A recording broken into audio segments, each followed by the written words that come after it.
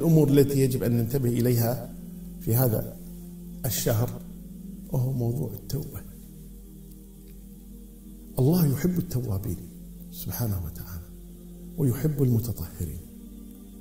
التوابون هم مكثر التوبة الذين إذا فعلوا فاحشة أو ظلموا أنفسهم ذكروا الله فاستغفروا لذنوبهم ومن يغفر الذنوب إلا الله ولم يصروا على ما فعلوا وهم يعلمون. هؤلاء التوابون يحبهم الله سبحانه وتعالى يحب التوابين جل وعلا. المقبلين على الله جل وعلا الطالبين من الله جل وعلا أن يغفر لهم أن يرحمهم أن يتجاوز عن سيئاتهم. التوبة إلى الله واجبة. النبي الكريم القدوة صلوات ربي وسلامه عليه معصوم. وفي الوقت ذاته نبي كريم. وقال الله تبارك وتعالى ليغفر لك الله ما تقدم من ذنبك وما تأخر. مع هذا كله نجد أن النبي صلى الله عليه وسلم يقول عن نفسه يا أيها الناس توبوا إلى الله فإني أتوب إلى الله في اليوم أكثر من مئة مرة. أنتم متصورون هذا؟ يعني النبي صلى الله عليه وسلم يقول أنا أتوب إلى الله في اليوم أكثر من مئة مرة. بالله عليكم نحن المذنبون المقصرون. هل فعلا نتوب إلى الله عشر مرات باليوم؟ عشرين مرة؟ مع أننا أخطاؤنا كثيرة.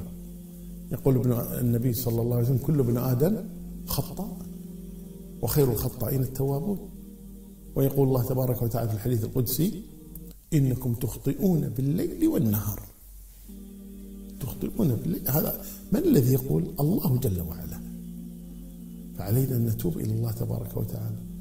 وتوبتنا بين توبتين من الله. أول شيء الله يتوب علينا بأن يهدينا إلى التوبة. هذه توبة من الله تبارك وتعالى. ثم نتوب ثم يقبل الله توبتنا. ثم تاب عليهم ليتوبوا إنه التواب الرحيم. تاب عليهم بهدايتهم إلى التوبة فتابوا فتاب الله عليهم بقبول التوبة. فضل الله عظيم. سبحانه وتعالى. فضل الله عظيم. جل وعلا. ولا بد أن نتوب إلى الله تبارك وتعالى في كل يوم. وأحيانا تقع منا الذنوب ولا نذكرها. ننساها. نغفل عنها. وإذا الإنسان يتوب إلى الله تبارك مما يعلم وما لا يعلم. اللهم اغفر لي ذنبي كله دقه وجله علانيته وسره ما علمت منه وما لم أعلم. هكذا تكون الأدعية جامعة هكذا كانت أدعية النبي صلى الله عليه وسلم. هكذا كان يعلمنا صلى الله عليه وسلم أننا نتوب إلى الله دائما سبحانه وتعالى.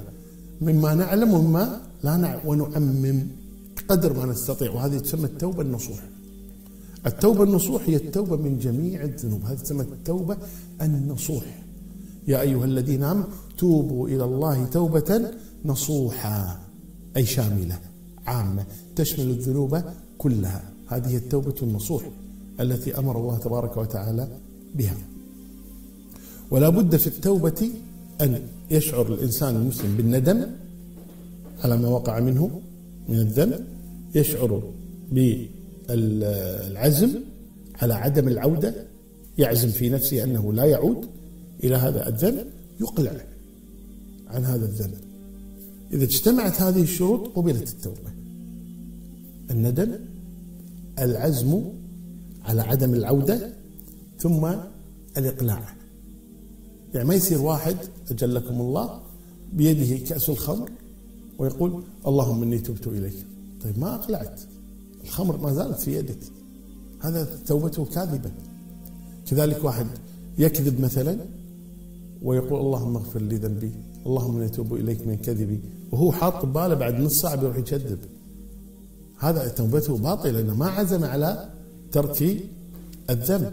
فلا بد من الإقلاع ولا بد من الندم والحزن داخل الصدر ولا بد من العزم على عدم العودة. فهناك شرط رابع يعني ليس للكل ولكن للبعض هو إن كان للناس حق عليك كانت حقوق للناس. مثلا ظلم هذا أخذ مال هذا لابد أن يعيد له الحقوق وإلا التوبة باطلة. شروط صحة التوبة ثلاثة. شروط صحة حتى تقبل التوبة لها ثلاثة شروط. إذا لم يتحقق شرط من هذه الشروط فهذا لم تقبل توبته. هذه الموانع. وهي أن يقلع عن الذنب أن يندم يشعر بالندم من داخله على هذا الذنب أن يعزم على أن لا يعود إليه. فهذه الثلاثة إذا تحققت صحة التوبة. طبعا مع شرطين وهو أن يكون قبل الغرغرة قبل أن تصل روح الحلقوم وأنه يكون قبل طلوع الشمس المغربية. هذه يعني من علامات الساعة. فالقصد أن ثلاثة شروط. وإذا كان حق للآدمي رجعه. إذا كان سرق مالا من شخص أو كذا يريد له هذا الحق. فالقصد أنه أن, أن, أن يكون نادما أن يعزم من داخل نفسه أنه لن يعود لهذا الذنب. الثالث أن يقلع ما يصير الإنسان بيده كأس الخمر ويقول اللهم إني تبت إليك من الخمر. هذا كذاب. يعني يدعي التوبة وما تب ما أقلعه. هذا طاعة لله. الإنسان ما ما يخير نفسه في طاعة الله تبارك وتعالى. أصلي أو لا أصلي؟ أنا خاف إذا صليت ما ألتزم بصلاتي.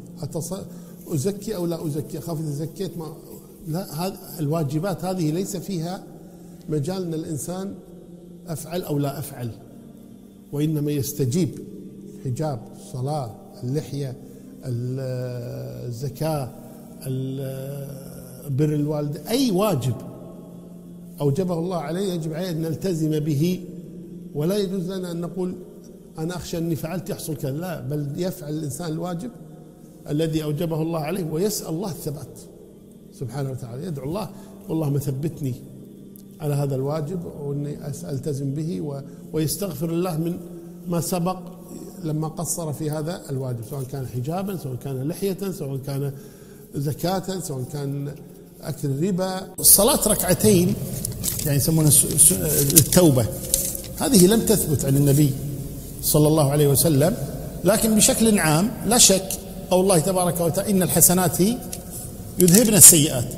وقول النبي صلى الله عليه وسلم أتبع السيئة الحسنة تمحها.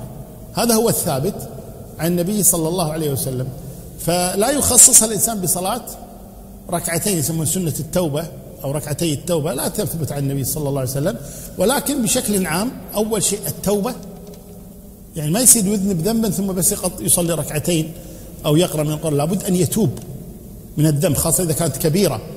لأن الذنوب كما لا يخفى عليكم تنقسم إلى كبيرة وصغيرة. الصغيرة لا تحتاج إلى توبة وإنما كما قال الله تبارك وتعالى إن تجتنبوا كبائر ما تنهون عنه نكفر عنكم سيئاتكم. فقال أهل العلم السيئات هنا المقصود بها الصغائر.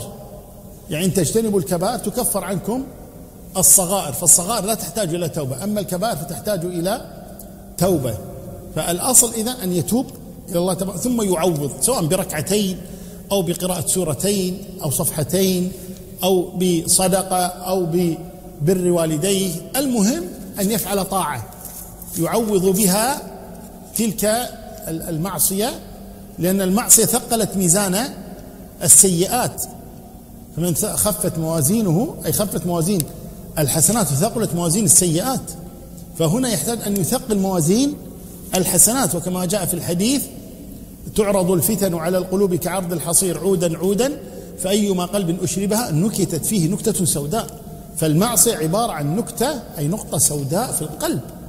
فالإنسان يحتاج أن يزيل هذه النقطة أو يجعل بدلها نقطة أو معها نقطة بيضاء.